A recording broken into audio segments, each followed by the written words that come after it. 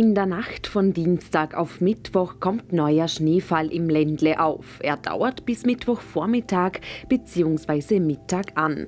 Es gibt jedoch nur geringe Schneemengen. Insgesamt kommen zwei bis fünf Zentimeter Neuschnee zusammen. Dennoch aufgepasst, speziell in den Morgenstunden und zum Berufsverkehr.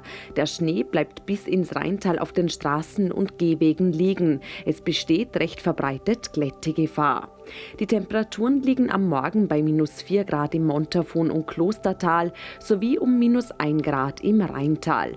Im Laufe des Vormittags und Mittags klingt der leichte bis mäßige Schneefall ab und die Wolken lockern vor allem auf den hohen Bergen sowie vom hinteren Montafon her rasch auf. Sonst bleibt es über dem Walgau und im Rheintal sowie über dem Vorder- und Mittelwald oft auch am Nachmittag stark bewölkt oder hochnebelig trüb.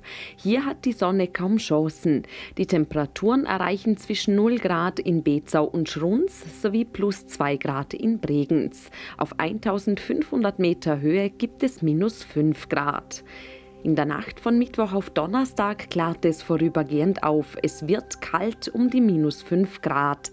Am Donnerstag selbst überwiegen bald wieder dichte Wolken. Bis zum Nachmittag bleibt es trocken. Danach ziehen vom Bodensee her Regenwolken auf. Achtung, anfangs ist auch Glatteisregen möglich. Die Temperaturen liegen bei plus 2 Grad. Am Freitag trüb und grau, bald regnerisch. Die Temperaturen steigen auf rund 5 Grad an.